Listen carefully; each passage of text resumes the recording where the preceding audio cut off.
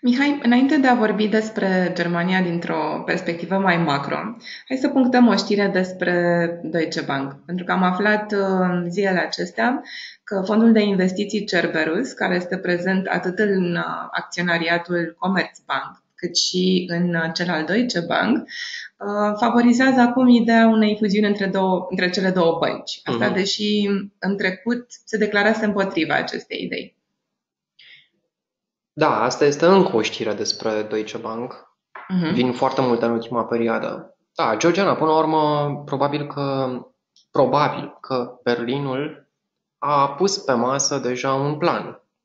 Și, după părerea mea, fie că vrei, fie că nu vrei, planul uh, se va întâmpla. Adică dacă Berlinul și-a pus în minte această fuziune, eventual la mijlocul anului, între cele două bănci germane, ea se va realiza și trebuie să primești acum sprijinul marilor acționari. Ok. Um, tot așa, înainte de a discuta punctual despre Germania, hai să mai vorbim puțin despre China, pentru că cele două sunt foarte strâns legate și avem uh, de asemenea niște cifre macro noi din China care nu arată chiar atât de bine. Continuă să nu arate bine. Uh, da, activitatea în sectorul industrial este la noi minime ale ultimilor trei, trei ani. Uh-huh. În regulă, a fost o vacanță în China, se poate vorbi despre sezonalitate, poți să vezi și niște semne bune în aceste cifre care au apărut, cifrele PMI, însă până la urmă este ceea ce este. Adică nu ne putem uh, păcăli prea mult vis-a-vis de direcția acestor cifre. Direcția deocamdată este în jos în ceea ce privește economia chineză, ai această alunecare. Asta este deocamdată. Uh-huh. Totuși, bursa de acțiuni din China, și ăsta a fost un alt subiect predilect al nostru, cred că încă de pe la finalul anului trecut, uh, continuă să se miște foarte, foarte bine. Uh-huh. Vorbim deja despre cea mai uh, cea mai bună bursă de acțiuni din lume în 2019. Știi că ea primea titulatura asta de cea mai slabă, Proastă, cea mai proastă în 2018 și dintr-o dată am făcut saltul ăsta către cea mai, cea mai bună. Uh, cam toți indicii chinezi importanți au avut aprecieri de 20-25% în debutul anului. Uh, participarea sau profunzimea acestui avans este foarte, foarte mare și noi avem pe acest slide un grafic foarte locovent uh, vis-a-vis uh-huh. de lucrul ăsta. Um, foarte, foarte multe acțiuni sunt deja peste mediile mobile aferente ultimilor 50 de zile, deci există participare, există profunzime pe acest uh, avans. Um, China a avut o strategie foarte, foarte smart, um, în principal de a atrage fonduri, uh-huh Uh, și auzim tot felul de, de anunțuri interesante vis-a-vis de uh, maximizarea cotelor de intrare a capitalurilor străine, de taxare tot mai preferențială pentru fondurile străine care vin în, care vin în China. Uh, plus un anunț important în această dimineață din partea MSCI care va majora proporția Chinei într-unul dintre cei mai importanți indici de piețe emergente din mhm. lume, această proporție va fi quadruplată, mm-hmm. da, mhm. peste așteptări. Deci, practic, fondurile care urmăresc în mod pasiv uh, acești indice MSCI vor trebui în mod automat să cumpere mai multe acțiuni chinezești. Da, se așteaptă ca pe piețele chineze să vină încă spre 125 de miliarde de dolari doar în acest mm. an, doar pe seama anunțului din această dimineață făcut de MSCI. Mm-hmm. Ok. Uh, de asemenea, cred că am primit niște cifre noi și din uh, Europa, unde, de asemenea, uh, dezamăgirea de la finalul anului trecut pare să continue. Și mă refer aici inclusiv la piața auto.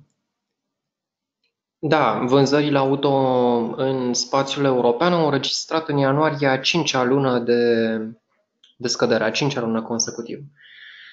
Georgiana, cifrele continuă să rateze foarte mult așteptările. Uh, în Europa, ecarturile nu sunt tocmai niște erori statistice. Uh-huh. Avem prima contracție a sectorului industrial în zona euro din ultimii șase ani. Șase ani, da? A doua contracție lunară consecutivă în Germania, tot în sectorul, în, în sectorul uh-huh. industrial. Avem cele mai proaste vânzări cu amănuntul în Germania din ultimii 11 ani. Uh-huh. Germania abia a reușit să evite o recesiune în a doua jumătate a anului trecut, știi și tu foarte da. bine, cam la limită, așa. Încrederea marilor corporații din Germania este în cădere liberă. Amintește mai degrabă de criza din 2008 uh-huh. Mhm. decât de perioade mai, mai recente. Uh, producția industrială, de asemenea, foarte, foarte, foarte soft. Uh, de fapt, cifrele, cifrele georgiene arată atât de rău încât pe piața petrolului uh, Germania este citată acum drept un risc critic, nu mai este citată alunecarea structurală a economiei chineze. E Germania, marea problemă în piața mm-hmm. petrolului nu mai, este, nu mai este China. Și asta în condițiile în care cu o apreciere de 25% a cotațiilor, piața petrolului are cel mai bun debut de an din istorie. Și ne mai vorbind că acum în Germania se iese pe stradă pentru a se protesta împotriva restricțiilor diesel, împotriva, dar nu în favoare. Împotriva da, bine, dar industria auto este un, uh, cum să zic, un uh, stâlp de susținere a economiei germane. Da, o să vorbim și despre asta. E, mm. cred că, cel mai important uh, stâlp mm-hmm. pentru 2019. Însă, Însă există, Georgiana, și o parte plină a paharului în Germania, pentru că, vezi, nivelul ocupării forței de muncă este la maxim record. Uh-huh. N-ai avut pe piața muncii din Germania în ultimii ani și nici în 2018 absolut niciun fel de problemă. Cheltuielile personale sunt de asemenea foarte ok, salariile, pensiile uh, uh, se situează uh, peste inflație ca și dinamică, mm-hmm. ceea ce de asemenea alimentează consumul partea în de consum partea de consum. Da, mm-hmm. și partea de consum, partea de cerere internă continuă să fie foarte, foarte puternică în Germania. Investițiile continuă să crească în, în, în sectorul construcțiilor, în producția de echipamente. Și deși companiile mari sugerează un pesimism extrem, uite că a existat recent un studiu al celor de la Ernst Young și practic 65% dintre companiile mici și mijlocii din Germania sunt uh, absolut ok, absolut satisfăcute de ceea ce se întâmplă din punct de vedere al condițiilor de business în Germania în momentul de față. Acest procent de 65% este cu 4 puncte procentuale mai mare decât în anul precedent și este cel mai mare după 2004. Uh-huh. Aici te referi la acel așa numit Mittelstand, nu? Acele exact, companii exact. de care economia germană depinde într-o mai mare măsură decât, eu știu, uh, în Statele Unite, de exemplu, avem o dependență mai mare de marile corporații. Uh-huh, în mhm, Germania uh-huh. contează mai mult aceste, aceste companii cum spuneai, de talie mică și mijlocie. Da, deci până acum realitatea este că marile corporații și, în general, partea industrială care ține foarte mult de exporturi, de cerere externă, nu stă tocmai bine, asta este uh-huh. clar, însă partea de corporații mici, mijlocii, care, care uh, se cuplează mult mai bine la consum intern în Germania, uh-huh. știi? Aici, deocamdată, nu există probleme.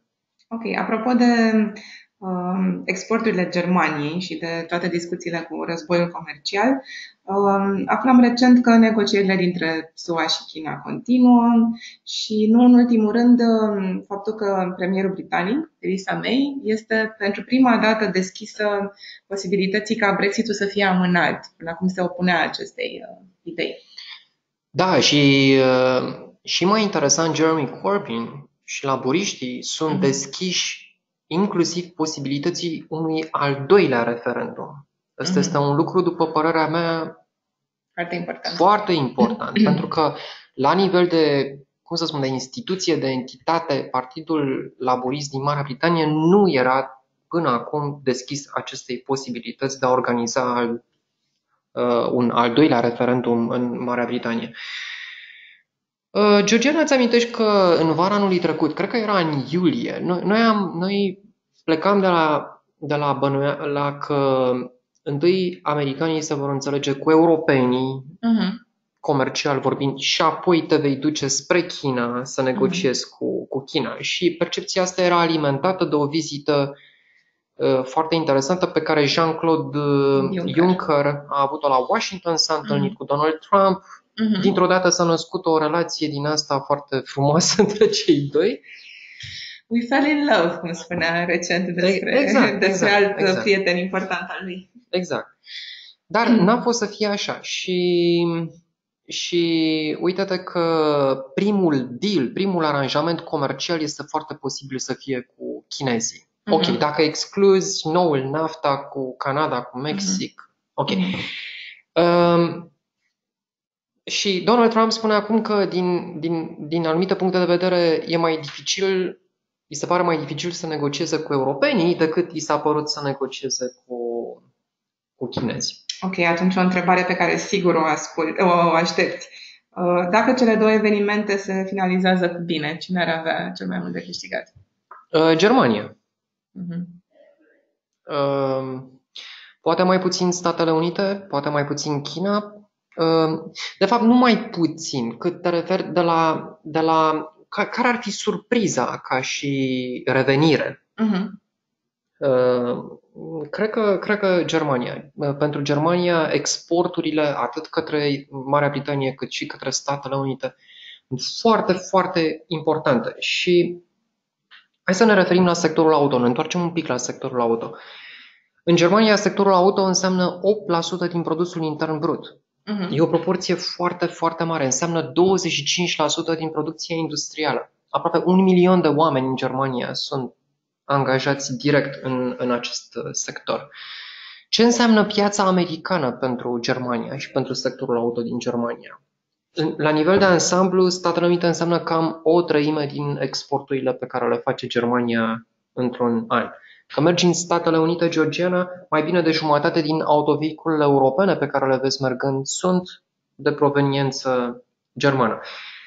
În UE, deci în Uniunea Europeană, industria auto este foarte, foarte bine integrată. Probabil că este cel mai integrat sector industrial uh-huh. în UE. Și de aici miza foarte mare pe care sectorul auto o are pentru, pentru Europa uh-huh. și implicit vulnerabilitatea acestui sector auto vis-a-vis de șocuri precum războaie comerciale între Statele Unite și China sau, sau uh, Brexit. Marea Britanie, unul din șase autovehicule care pleacă din Germania la export se mhm. duce către, se, se duce către Marea, Marea Britanie. Deci, o misă foarte, foarte mare pentru nemți ca aceste negocieri între Statele Unite și China să reușească, între Statele Unite și Uniunea Europeană de asemenea să reușească uh-huh. și să ai un uh, delay, să ai o amânare a Brexitului, poate pentru un an și jumătate, poate chiar mai mult decât atât, se vorbește despre 2021. E, e foarte, foarte important. Acestea, acestea fiind spuse, însă, Georgiana, vezi că partea asta de tarife, uh, chiar dacă reușim să o evităm în 2019, nu înseamnă că reglăm tot. tot. Pentru că, uite-te un pic la, la piața auto din China și noi o să ne întoarcem la acest subiect în momentul în care vom vorbi și despre uh, producătorii de autovehicule electrice. O să revenim uh-huh. Despre NIO, despre Tesla, revenim și acolo într-un alt podcast. Dar în, în, în China, piața auto a crescut cu o rată anuală de 12, 12% între 2007 și 2017. Uh-huh. 12% pe an. Uh-huh. Anul trecut a aplicat 4,1%. E primul declin după, da. anii, după anii 90.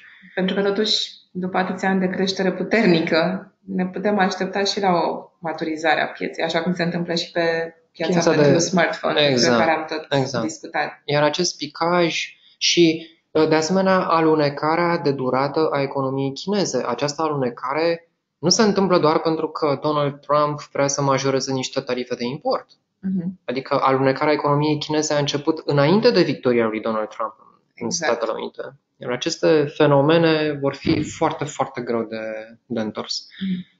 Există vreo reacție și la nivel politic?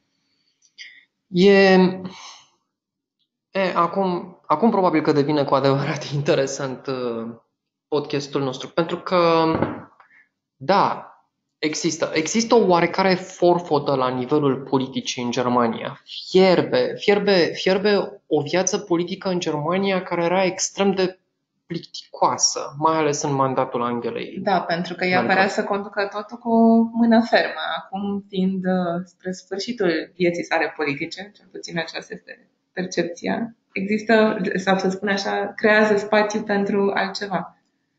Altceva, deocamdată altceva înseamnă stânga. Socialdemocrați. Stânga se duce tot mai la stânga și să știi că în ultimul, exact cum se întâmplă în Statele Unite în momentul ăsta. Uh-huh.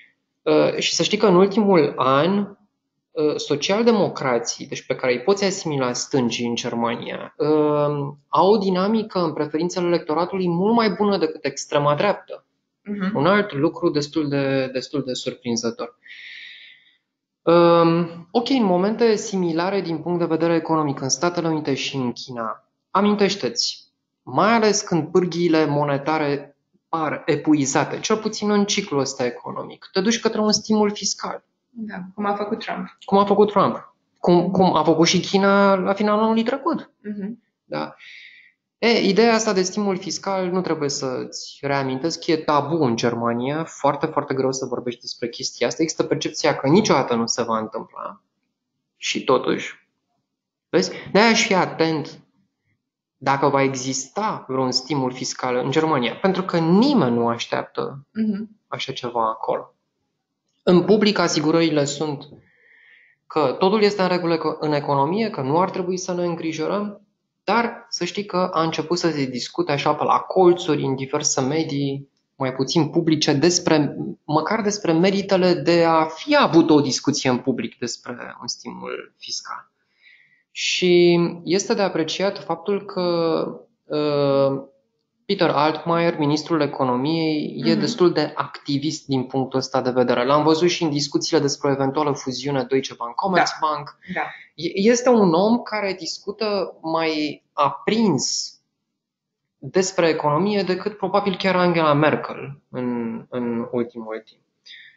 Altfel, evident, există foarte multă frustrare pentru că gândește-te, ai această alunecare economică în Germania și totuși Germania continuă să înregistreze excedente bugetare record. Uh-huh. Adică avem un excedent bugetar de vreo 60 de miliarde de euro în Germania. 1,7-1,8, țintim cam 2% din produsul intern brut cu acest excedent. Datoria publică tocmai a coborât sub 2 trilioane de euro. E o cifră mare, dar pentru asta pentru folosesc Germania... excedentele bugetare, nu? Să exact. plătească datoria. Să plătească datoria și nu să aibă un stimul uh-huh. fiscal care uh-huh. s-ar potrivi foarte, foarte bine pentru ce condiții economice încep să ai în Germania acum. Să știi că și companiile, companiile Germanie, uh, din uh, Germania sunt puse la zid. Pentru că acestea continuă să aibă o reticență de a face investiții productive. E o chestie pe care o întâlnești și în Statele Unite și cred că ai vorbit și tu despre așa ceva când spuneai că, deși se confruntă cu un șoc, companiile din Germania uh, decid, pot să dea dividend. Pot să dea da. dividend. Da. Decid da. foarte, foarte greu să elimine dividendul. Uh-huh, uh-huh. Pe unele le-am văzut chiar majorând dividendul da. atunci când mediul începe să devină mai prost, economic da. vorbind. Ok, nu, nu se întâmplă doar în Germania, se mai întâmplă și în Statele Unite. Dar, deocamdată, vorbim despre o alunecare economică care ne îngrijorează în Germania, nu în Statele Unite. Mm-hmm. Da. Ok. Um, și totuși, dacă oricum uh, cheltuielile vor crește în Germania, discutăm despre tranziția la surse verzi de energie, la sectorul de apărare, de ce nu și un pic de stimul fiscal pentru economie? Um, cheltuielile vor crește, cheltuielile vor crește pe termen lung. Uh, noi am fi atenți dacă există totuși un stimul fiscal punctual în 2019, uh, venit și pe o filieră politică, nu doar din presiuni publice. Foarte important, uh, pentru că gândește-te la, gândește-te la DAX, gândește-te la, la bursa din Germania, care a picat anul trecut poate mai mult decât unele piețe emergente. Uh-huh. Da, a, fost, a fost extrem de lovită bursa din Germania. Sectorul auto din Germania, extrem de lovit în 2018 și evident că m-aș uita la orice trigger, orice chestie surprinzătoare venită aproape de nicăieri care ar putea să genereze o revenire poate chiar mai importantă decât cea pe care o vedem pe Wall Street mm-hmm. pentru unele companii din Germania. Um, și foarte important aceste lucruri inclusiv vis-a-vis de Banca Centrală Europeană și vis-a-vis de dobânzi. Uh-huh. Pentru că ai aceste dobânzi în continuare foarte jos. Uh-huh. Foarte jos.